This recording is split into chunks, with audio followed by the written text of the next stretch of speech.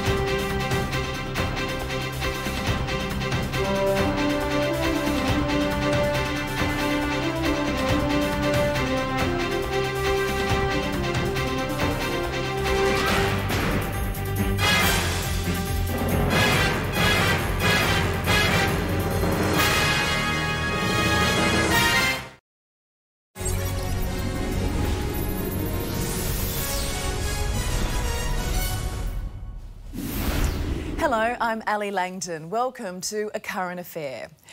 Getting your mail should